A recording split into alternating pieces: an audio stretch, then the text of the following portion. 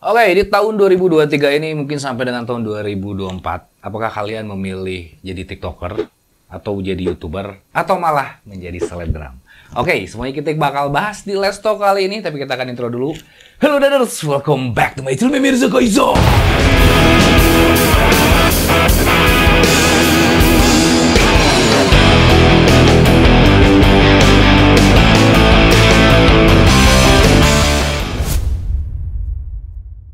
Oke, what's up cuy-cuy? Baik lagi sama gua Mirza. Nah, di video kali ini nih kita bakal ngebahas lagi tentang fenomena sosial media nih. Buat kalian-kalian yang pengen baru terjun menjadi seorang influencer cuy ya.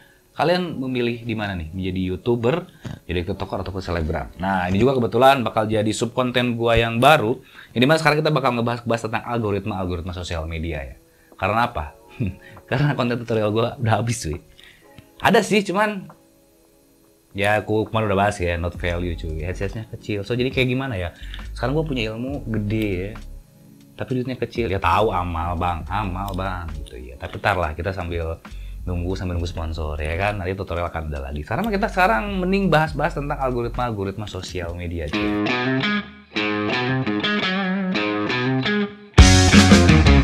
Oke, okay, gue kepikiran untuk kayak ngebahas gini nih Buat kalian yang baru pertama pengen menjadi seorang influencer ya, atau bahasanya menjadi berkarya di sosial media gitu ya, mending pilih menjadi tiktoker kah, atau menjadi youtuber kah, ataupun selebgram ya. Mungkin akan baru ada tiga platform yang terkenal.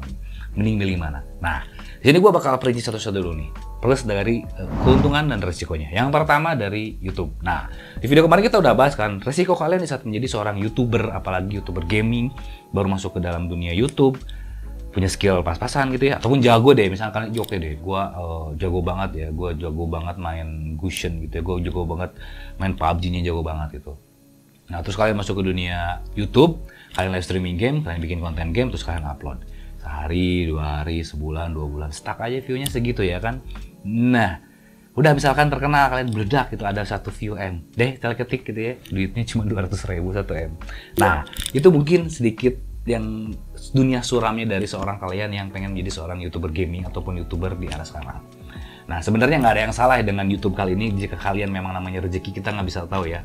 So jadi misalkan kalian yang pengen masuk ke dunia YouTube, mungkin kalau misalkan kalian yang benar-benar sangat pemula, apalagi kalian tidak memiliki skill tentang dunia videografi, ataupun kalian tidak memiliki skill yang cukup di dunia gaming itu tersendiri, ataupun kalian hanya skillnya pas-pasan, hanya mengandalkan dunia live streaming aja, hanya mengandalkan mabar bersama teman-teman aja, YouTube ini mungkin persaingannya jauh lebih sulit. Faktor yang kedua yang dunia suram dari YouTube di sekarang, itu dari masalah algoritmanya coy. Algoritmanya itu gimana ya? Jadi mungkin sekarang YouTube lebih fokusnya ke dunia short. Kalau short sih gue setuju aja. Jadi kalian bisa bikin satu video untuk ketiga platform sekaligus, yaitu short, TikTok, dan juga dari si Instagram. Cuma nih, cuma kalian tetap harus ngefokusin salah satunya dulu. Jangan kalian misalkan punya satu video langsung serentak ke upload ketiga-tiganya, karena itu menurut gue akan jadi wasting banget gitu ya. Sayang banget lah sih karya kalian, kalian dimurahin kayak gitu coy. Nah, saran gua sih ya kan, kalau misalkan YouTube, oke okay, kalian patok-patokin dulu aja bikin satu channel khusus di short gitu coy. Kalau videonya jangan dulu deh sebelum kalian masuk ke 5000 5000 subscriber deh. 5000 subscriber ataupun di 10.000 subscriber ketika kalian sudah memiliki penonton tetap dulu ya mungkin sekitaran 100 orangan gitu coy ya. Nah, karena apa? Karena sekarang kalian bikin video panjang-panjang kayak gua kayak gini. 15 menit, 10 menit, tapi kagak ada yang nonton ataupun kagak ada duitnya. Kalian udah nggak modal beli kamera. Kalian udah nggak modal misalkan beli lampu atau kayak gimana. Ya kan bang bisa bang pakai webcam atau kayak gimana. Nah algoritma YouTube sekarang itu mendeteksi kualitas video yang kalian buat. Semakin video kalian jelek, semakin tidak akan tersuges. Gua aja kualitas video segininya, ya view gua stuck segitu aja cuy. Ataupun dari isi dari kontennya tersebut. Kalau konten kalian yang kurang menghibur ataupun tidak dunia entertainnya, itu udah susah banget apalagi konten edukasi kayak gini itu memang panjang ceritanya cuman bertahap kayak gitu coy nah itulah susi dunia gelap di saat kalian pengen masuk ke dunia YouTube faktor algoritma dan juga faktor yang lainnya yang paling kesel adalah dari pendapatannya tapi kita akan pukul rata aja deh. Anggap aja sekalian kalian masuk ke dunia influencer, mau itu YouTube, TikTok, ataupun Instagram. Jangan dulu memikirkan namanya pendapatan, karena bisa dibilang ya udah nggak ada pendapatan sekarang pun YouTube cuy. Kecuali kalau kalian ya sudah per rata-rata satu videonya 100 ribu view, baru bisa dibilang enak. Ya mungkin kalian bisa dapat 5 juta sampai 10 juta. Kebayang kan 100 ribu view, paling pendapatan kalian 5 sampai 10 juta aja. Kayak gitu. So lanjut ke next sosial media kenapa kalian juga jangan terlalu sekarang fokus banget di TikTok. Nah, ya kan di sini ada satu clue-nya cuy. TikTok itu sekarang sudah sudah bisa dibilang sebagai sosial media yang sudah mulai kapitalis. Yang di mana di saat kalian ngebikin video harus ada value ke TikToknya sendiri. Mau itu kalian menjadi seorang affiliate ataupun kalian punya toko tersendiri di TikTok tersebut. Kalau kalian hanya sekedar iseng-iseng aja gitu ya, joget-joget, pargoy atau kayak gimana, ya udah. Kalian mungkin oke okay lah, bang, gue dengan satu kali pargoy bisa ngetren bang, satu m yang nge-viewnya, ya udah satu bulan. Kalau kita ambil contoh Alif Cepmek deh ya, Alif Cepmek ke mana sekarang di TikToknya gitu. Kalau di YouTube ya mungkin sekarang dia udah ber, mulai beralih ke YouTube menjadi youtuber drama, youtuber reality show kayak gitu kan. Tapi di TikToknya instan banget dia hanya sekitar satu bulan dua bulan. Fajar Boy ataupun siapa lagi yang uh, banyak lah ya banyak banget tiktoker yang eranya itu perjamannya itu hanya sekitar satu bulan dua bulan sisanya dia menghilang lagi dan itu pun mereka uh, gak akan ada value banyak kalau mereka pun juga nggak berjualan Sistem kapitalis dari TikTok sendiri itu gue udah mulai rasain di tahun 2023 ini. Saat gue dulu pertama masuk ke TikTok, ngupload quotes, 1, 2, 3, 4, 5 video, itu view-nya langsung tiba-tiba rame. Nah, tapi kan karena gue ini nggak ngafiliat cuy, gue nggak ngejual barang di sana, view gue langsung drastis menurun parah. Lu bisa cek di TikTok gue sekarang view-nya gak ada yang nyampe ke 1000 setelah satu bulan terakhir ini. Gue jadi males kan dari situ. Nah, selisik demi selisik ternyata ya memang kalian harus sambil berjualan jadi tidak tidak bisa TikTok itu sebagai dipakai untuk ajang kalian berkarya. So, the point ya sekarang, gue lebih kalian, gue lebih merekomendasikan kalian menjadi seorang selebgram ya bahasanya, ataupun berkaryanya di dunia Instagram. Kenapa? Karena Instagram itu di awal penciptaan Instagram itu diciptakan untuk kayak orang-orang yang pengen berkarya menyimpan portofolionya di Instagram. Zaman Instagram foto dulu banyak banget fotografer-fotografer yang menyimpan foto-foto tentang landscape ataupun tentang mereka menjadi seorang fotografer ngevideo model sorry itu mereka nguploadnya di Instagram. Nah di Instagram sendiri pun juga tidak terlalu yang namanya restriction ataupun tidak terlalu banyak berbahaya. Contohnya misalnya kita ngupload video pargo yang seksi-seksi ataupun foto nude agak sedikit telanjang sedikit cewek pakai bikini atau kayak gimana gitu ya buat seorang fotografer menyimpan portofolio di TikTok itu nggak akan bisa karena itu udah pasti di banned apalagi ya videonya misalkan yang dance dance erotis itu udah pasti ke banned tapi di Instagram itu masih diperbolehkan karena ya memang ya sesuai judulnya karena Instagram itu untuk kayak kalian menyimpan portofolio dan karya-karya kalian yang kedua juga alasannya kenapa kalian harus di Instagram itu dengan algoritmanya sekarang yang lagi di boosting.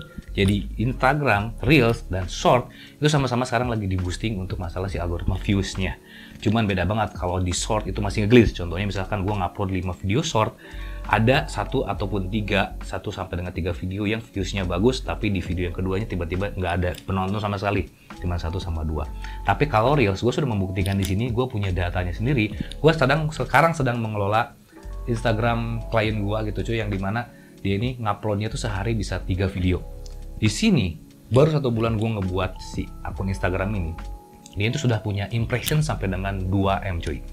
Belum lagi dengan followersnya yang asalnya 10.000 followers, sekarang naik langsung menjadi 80.000 followers. Tips triknya kayak gimana sih bang? Bakal kita lebih bahas lebih lanjut di video selanjutnya tentang algoritma Instagram. Nah cuma sekarang gue lebih kayak nge-brainstorming kalian dulu deh daripada kalian sekarang punya satu karya video kalian nguploadnya lebih tepatnya di mana? Gue saranin kalian nguploadnya di Instagramnya cuman gak semudah itu cuy sekarang ya. Instagram itu perlu yang namanya dengan sisi hal sisi yang pertama adalah karya.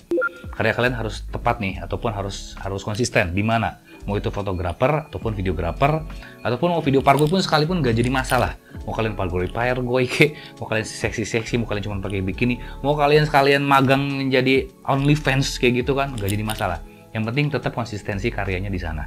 Dan mau senakal nude segimanapun juga masih aman, asal jangan sampai telanjang ngeliatin puting kalau buat cewek ya.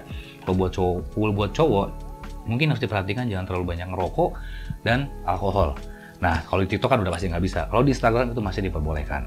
Engagement yang dihasilin dari Instagram pun menurut gue sangat oke karena dia ini sudah terintegrasi dengan Meta ya. Meta yang di sini Instagram dan Facebook. Sedangkan tahu sendiri ibu-ibu dan bapak-bapak Facebook itu aktif banget ya kan. Banyak komentar-komentar quotes gue itu dipenuhi dengan komentar-komentar ibu-ibu yang dari Facebook cuy. Nah makanya quotes gue pun sekarang lebih ramai di Instagram dibanding dengan di TikTok sendiri. Nah cuman karena gue salahnya Instagram sudah ngacak dari awal, awalnya tentang konten gue pribadi, terus konten gaming, dan sekarang ke quotes ya masih stuck segitu. Ya tapi gue percaya kalau gue setiap harinya konsisten lagi untuk ngupload quotes gue di Instagram, gue bisa naik lagi. Ya karena gue sudah buktian banget di, di saat gue megang Instagram klien gue, gue bisa mendapatkan impresi yang sangat luar biasa. So, jadi kesimpulannya, buat kalian yang pengen baru terjun menjadi influencer dan kalian punya karya, gue saranin kalian sekarang bisa fokus di Instagram dulu. Misalkan kalian upload hari Senin di Instagram, selasanya video yang sama kalian upload di short, ketiga baru di TikTok. Jangan ngefokusin dulu TikTok karena apa? Karena pertama, rawan ke banned, kedua pun no value sama sekali, yang ketiga pun juga kapitalis. Tapi kalau misalkan di short, kalian bisa mencari glitch video. Tiba-tiba view kalian meledak dan kalian bisa ngambil subscriber dari sana. Setelah video kalian oke, okay, subscriber kalian bisa atas 5000 kalian bisa mulai kayak berkarya bikin video kayak gini di YouTube cuy Nah, tapi engagementnya tetap bakal lebih kuat di Instagram. Dan Instagram itu banyak banget orang kalau pengen endorse langsung DM kan. Nah, kayak gitu enaknya cuy. Nah, cuman kalau di Instagram sendiri itu ya memang kalian harus punya karya yang sangat oke. Okay. Kualitas gambar yang harus oke okay, dan tetap konsisten ya kayak gitu. Sehari kalian gua kasih bocoran ya. Kali kali upload reels itu sehari harus tiga baru kalian langsung ke up. Rata-rata view kalian itu bisa sampai di 2000, kalau misalnya hoki itu bisa sampai dengan 20.000 views. Dan di next video kita bakal bahas tentang algoritma Instagram, kenapa kalian harus menjadi seorang selebgram. Kayak gitu cuy. So oke, okay, aja untuk Let's Talk kali ini. Jika kalian suka dengan video ini, jangan lupa untuk di like dan di subscribe. Dan jangan lupa dan kesempatan pada waktunya. Hormati gurumu, saya temanmu, itulah tanya kau berbudiman. See you next video. Bye-bye.